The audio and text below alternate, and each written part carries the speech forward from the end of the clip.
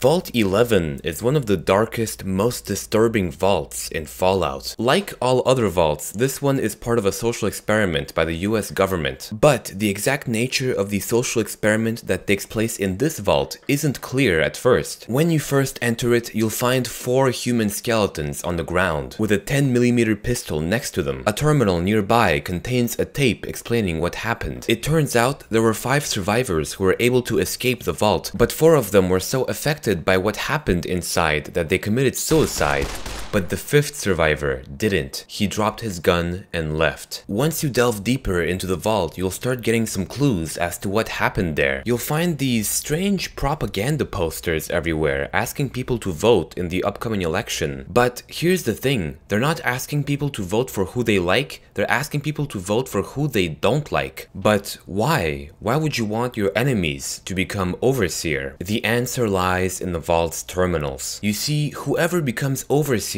must be sacrificed. And if every year the residents of Vault 11 don't offer a sacrifice, it's implied that they will all die. This idea was originally inspired by Shirley Jackson's book, The Lottery, but don't take my word for it, here's Josh Sawyer, the director of Fallout New Vegas. I think Vault 11, I just, I told Eric Fenstermaker, I said, I think it'd be neat if one of these places had a lottery, like a Shirley Jackson's The Lottery sort of feel to it, where you, you know, somebody gets, you know, whoever's the overseer, you don't want to be the overseer because you wind up getting killed or something. To elaborate, The Lottery is a short story about an American village which, like the title implies, holds a lottery every year. But the winner of the lottery gets stoned to death. It's implied in the story that this sacrifice is an attempt to improve corn yields, kind of like in old religious rituals. Now, originally, in Vault 11, the Overseer wasn't necessarily the one who had to be sacrificed. They could have literally sacrificed anyone. But you see, the first Overseer was the only person aware of the social experiment that took place in this vault. Understandably, people were angry at not being told that they had to sacrifice one of their own each year. And so, as their first sacrifice, they offered up whom they felt deserved it the most,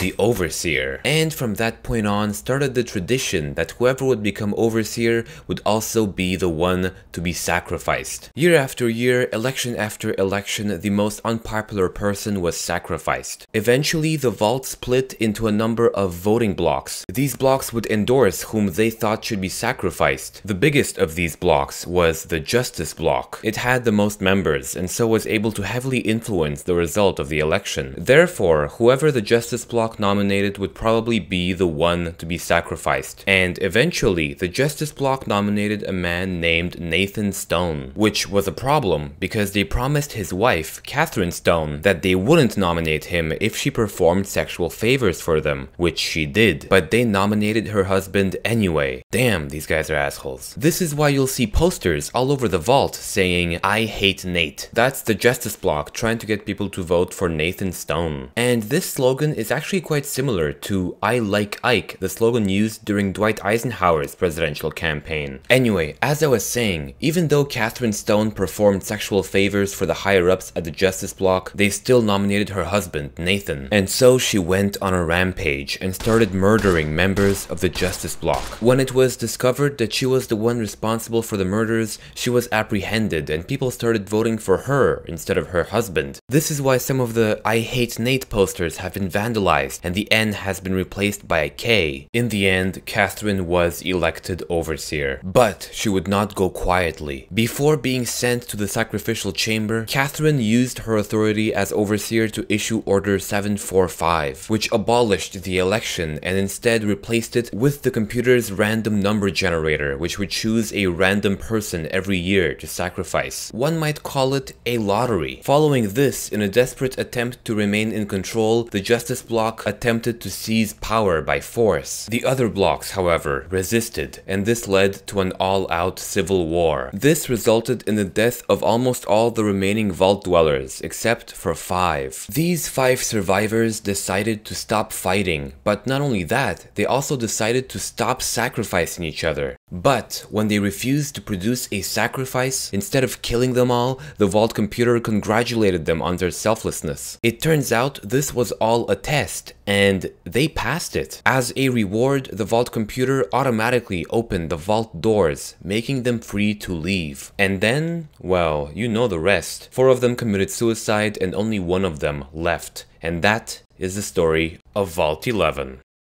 Thanks for watching. I just want to say first of all that I'm going to leave a link down below to uh, Shirley Jackson's The Lottery, which you can read. It's a very, very short story. It can be read in less than five minutes. I recommend this book to honestly everyone. It's such a classic. It talks about things like the dangers of crowd mentality, uh, the dangers of following traditions blindly without examining them, and it also talks about the dangers of following society blindly without you know, thinking about what you're doing. And uh, it's a very, very interesting read. Also, I just want to say, I'm going to leave a link down below to the vlog. Remember that part where you saw Josh Sawyer talk in the video? Josh Sawyer is the director of New Vegas. I'm going to leave a link down below to the vlog where he talks. It's actually quite a long video, but I recommend it to anyone who's interested in like game development, game design, and it's quite insightful. He actually has like a whole collection of videos. Also, by the way, I'm going to leave some notes down below in the description as to some things that I found interesting while making this video about Vault 11, but didn't bother to include in the video since I didn't want to oversaturate the video with too much information so you guys can check it out and do some more reading if you want to.